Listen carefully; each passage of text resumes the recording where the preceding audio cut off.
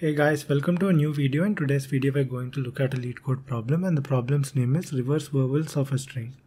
So this question is similar to a question called reverse words. So in that question, you reverse all the characters in that string. In this question, only have to reverse the vowels in the string and return it. So we are given a string called s and we have to reverse only all the vowels in the string and return it. So vowels are the characters a, e, i, o, u and they might appear in both lower and upper cases more than once. So if this is the input string hello, this will be changed to here you can see there are two vowels E and O so you swap them. So this will become holy and in this case you have LeetCode. So you identify the vowels first. Last uh, vowel comes to the front. The second last comes to the second most. This goes here and this goes back here.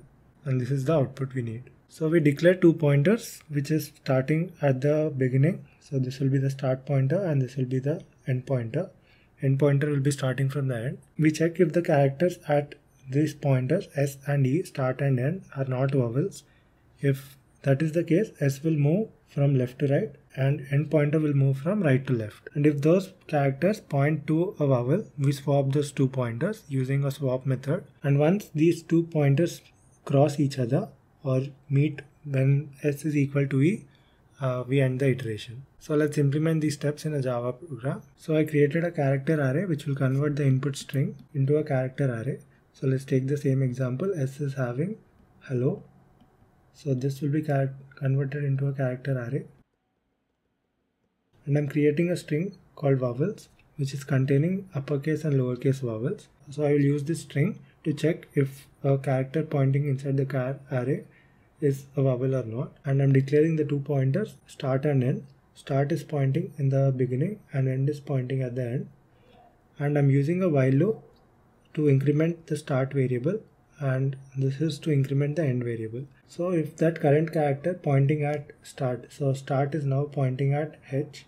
So this is having h I'm checking if h is present inside this vowel string. It is not present. So, so it is equal to minus 1. So this condition will pass and start will increment. So I move start. And this while loop, uh, I check if the character at start, character at start is E. I check if E is present inside this vowel string. Yes, E is present. So I stop. This while loop will be skipped and it will comes to the second while loop. In the second while loop, I'm checking if the character at end character at end is pointing at the character O. I'm checking if O is present inside this vowels uh, string. Yes, it is present. So it will skip this while loop. Now S is pointing at E and E is pointing at O. So we swap those two. So this will become H O L L E. And now start will increment and end will increment to check for next vowels. So start will now point at and end will decrement. Char start start is pointing at L.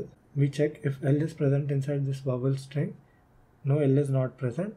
So we move start further. So start is also pointing at L. Now start and end are both equal. So this condition will fail. We come out of the while loop. And now we are converting the character array into a string. So character array now having these characters H O L L E and I'm converting into a string. So this will become O L L E because we have to return a string as the output. So this will be returned as the output and that is the expected output. So the time complexity of this approach is O of n where n is the length of the input string as the space complexity is O of 1 because we are not using any extra space to solve this question. That's it guys. Thank you for watching and I'll see you in the next video.